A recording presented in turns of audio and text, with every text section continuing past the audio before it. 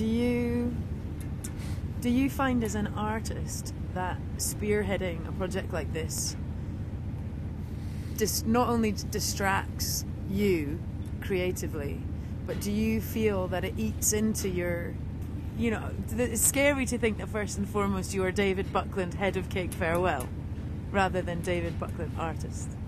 Yeah, yeah. I've been, I've been worried about it for the last six months because this one took so much effort.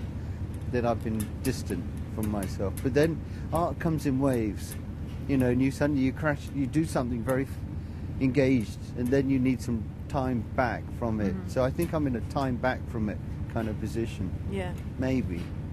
I mean, the other there is so much happening in doing Cape Farewell to me as an artist.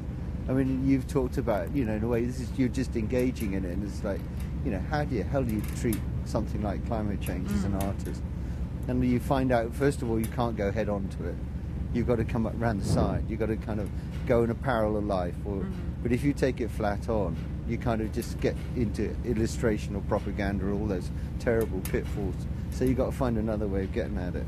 Um, and that, since I've been doing it for the last six, seven years, has been phenomenal because it suddenly shifted the whole of my art practice into a different new yeah. territory, and that has been really exciting. And I haven't even kind of, I'm not there yet.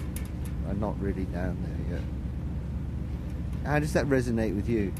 Because the other night you talked about how you are going to be as a, as a, as a person living, yeah, and kind of adjusting your lifestyle but I know you've written a couple of songs.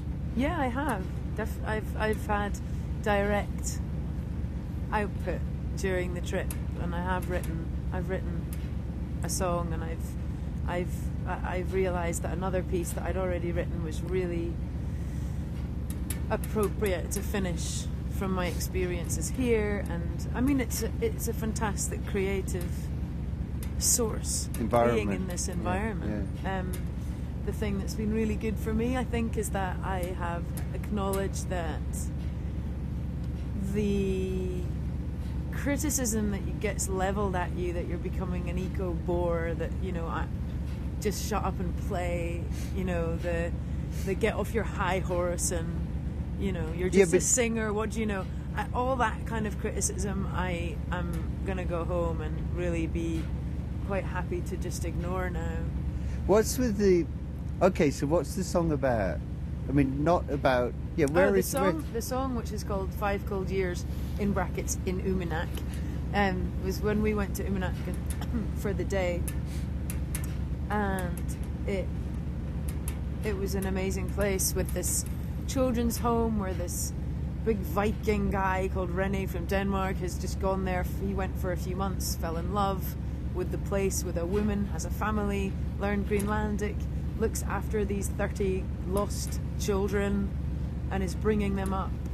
You know, with 57,000 people, you imagine 30 kids being brought up by that guy having quite a, an astonishing effect on the country. I mean, anyone, you know, you feel like none of those kids are going to go down the road that they would have gone down in their incredibly difficult social circumstances that led to them being in the home in the first place.